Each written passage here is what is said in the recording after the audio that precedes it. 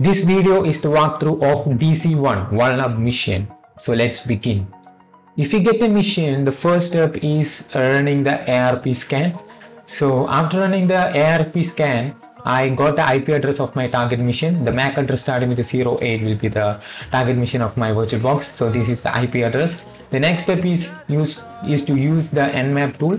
So Nmap is the tool network mapper tool and I use the flag minus P minus for scanning for all the ports and I use the flag minus SV for scanning the service version and this is the target IP. After the Nmap scan I found four open ports. As you can see these are the four open ports that I found the port 22 SSH and port 80 HTTP and two other ports are there. So HTTP is open so we can search the IP address on a browser to view a website. So I'm opening a browser and search the IP address. As you can see I got a Drupal site. So I got a login page like a, username and password you can enter like admin admin or admin password for checking some basic login credentials so here I entered admin as the username and password as the password but I'm unable to log in. So let's leave this. So let's scan for any hidden directory for for that. I'm copying this I'm copying the URL and I'm using a tool called GoBuster so I already started the scan so let it run. So the scan will take lots of time so that is why I'm showing like this. So GoBuster is a directory enumeration tool and the dir stands for the directory and minus u stands for the URL so this is the URL so and minus w stands for the bird list. So here we are specifying common.txt bird list as you can see. And the scan is still progressing. So as you can see status 200 slash 0 was there.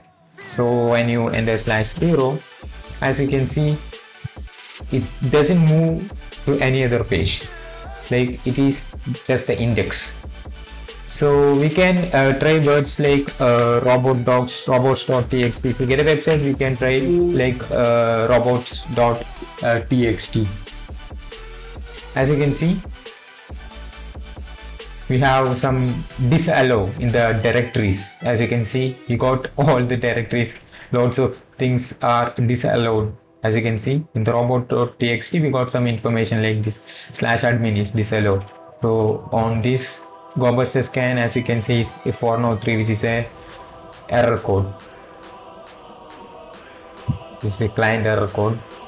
So it's all are disallows so these are the some directories which are uh, disallowed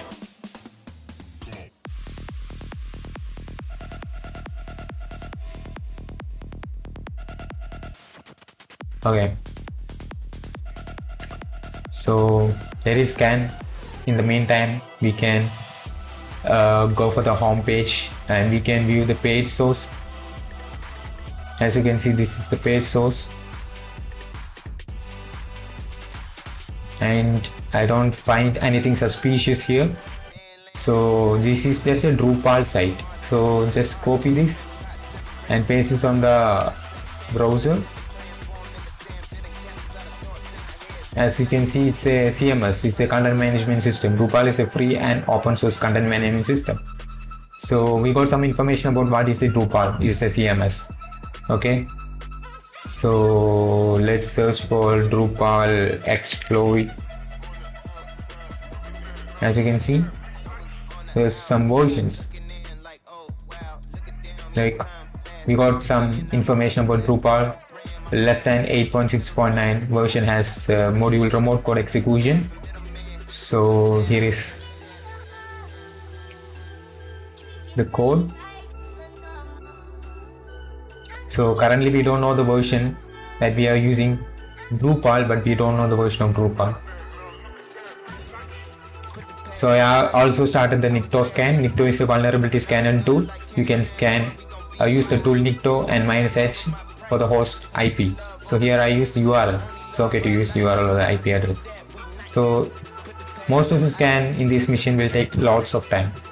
So that is why I started the scans before. So it's still scanning. We don't have much information. So we found that Drupal we don't uh, know the current version that we are using. So there is another tool called Searchploit so I'm using the tool called Searchploit and search for Drupal.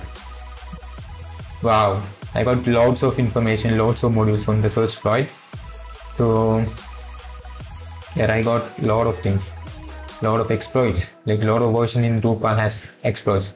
As you can see the versions. So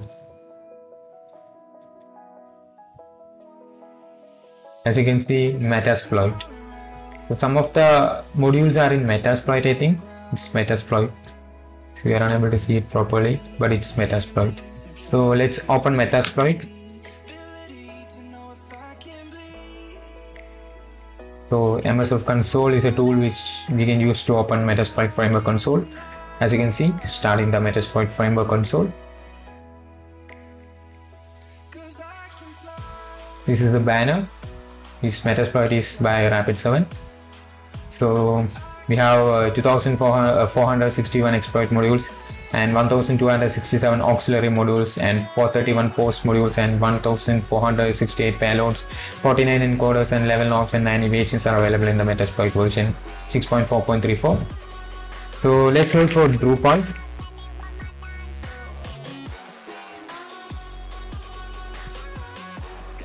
As you can see we got lots of modules we got uh, 25 modules of drupal which is available in the metasploit. So we can try the first one by entering the command use 0 so we can enter command like options. As you can see we have to specify the ROs which is our target IP address. So I'm copying the target IP address and I'm entering the command set. ROs and I'm running and the command run. As you can see started reverse TCP handler. So this is our LOS IP address. As you can see exploit completed but no sessions was created. So it use another module. Let's search for Drupal again and we got a lot of modules right? So I'm just using the second module. So 0 is the first module. So, so 1 is the second module okay? So I'm using the 1 I'm entering the command use 1 and I'm entering options as you can see you have to specify the ROs which is the target host. I'm entering the command set ROs and the IP address of our target machine. And I'm entering the command run. Run is the command to run the module as you can see reverse TCP handler was start running automatic check. The service is running, so it finds the service is running but could not be validated. So this module finds that our, our service is running but it could not be validated. So let's wait some time and look at it.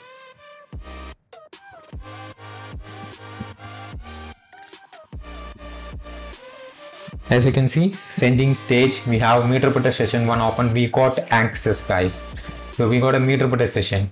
So let's wait a little bit of let it work. Yeah we got the session. Anyone ls wow you got a lot of things. So here i got the flag one. So i can enter cat and flag1.txt yeah every good cms needs a config file and so do you. So we got the flag1.txt here guys. So we can move to home cd slash home. And even ls we got a flag 4 so then you can move to flag 4 which is a directory. So we can use the command cd flag 4 entering ls there i got flag4.txt and using come command cat flag4.txt yeah we got the flag 4 so can you use the same method to find or access the flag in root? Probably, but perhaps it's not that easy or maybe it is. so we got this information. So we got the flag 4 so we can view cat etc path wd as you can see flag 4 is the user. So flag 4 is the name of the user here so the username is flag4, right? So we need to become a root user. So so that for that i'm uh, quitting this meterpreter session. I need a shell. So for that i'm entering the command shell. And i'm entering slash bin slash bash minus i. As you can see we got the shell. And no job control in this cell so you can open the browser and search for spawn tty and you can open the spawn tty uh, this website by secwiki and you can copy this first python command. And you can paste it here. And we got the shell we can enter slash bin bash minus page again for detailed view. So you can enter cd like the home was not set and enter ls we are in flag4.txt so you can check for the privileges. As you can see sudo command not found. It does not have sudo. So you can move to temp directory. And here we don't have any files. Let's uh, search for all. As you can see these are the files in the temp directory. So I am here using linenum.sh so Linux enumeration you can search linenum in the browser. You can see you can get the linenum from uh, github. So here I got the linenum.sh this is for Linux enumeration. So I'm just downloading it. So I downloaded this linenum.sh on my Kali Linux. So my local machine. And I move to download as you can see the linenum.sh so we need to move this linenum.sh uh, into the temp directory. So when you enter nano we don't have any nano. So we can just start a server here. Like we have python minus n http dot server. So I configured a server on port 8000 so you can enter ifconfig to view your IP address. So this is your IP address and the server is running on port 8000 so you can open a browser and uh, visit to port 8000 as you can see this is the file that we need to uh, transfer to our uh, machine. So I'm just copying this URL so port 8000 so I put slash and the file name here. I'm just copying it. I'm not entering okay I'm uh, just opening my uh, terminal. Now I'm in temp directory. I'm using the command uh, wget and http colon slash slash and the IP that I copied. As you can see it's connecting. And now we are able to download the files to our temp directory when you enter ls-i as you can see it does not have an execute permission so we have to give it execute permission. Can enter chmod plus x and the file name? Can double click and copy and paste it here. So now we have execute permission. So let us execute by dot slash and the file name. So our execution was started. So we can stop this uh, server so it's executing. Linenum.sh is now executing.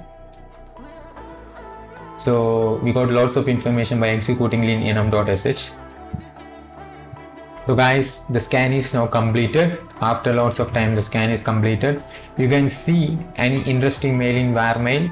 It's some hidden directories. So location and contents is accessible of .bash history files which is uh, we already viewed with the flag4.txt. So we got some etc recursive one level. So we got lots of information here. As you can see possibly interesting SUID files. So we got two id files like user bin find it, ha it has s which is SUID. So we got something like this. So it's in the find command user bin find so we can enter command like find slash root to view the contents of the root as you can see these are the contents in the root directory. As you can see this is the the final flag.txt which is available on the root so we can't move uh, to root directory since we are uh, not root and you wonder who am I? We can see you are www data. So we need to become root right? So we have something called uh, some information like we got something interesting here. So we can open the browser and search for GTF for bin so we can open the website. As you can see uh, the user bin find has some SUID so you can search for find in the GTF bin site. We can open the find. As you can see we have we have a shell comment here so you can copy this comment and you can paste it comment here. Yeah we got root access. So now we can move to the root directory. As you can see the flag, final flag.txt is available in the root directory. So you can view the final flag.txt yeah we are done i hope you enjoyed this video. Thanks for watching. Have a nice day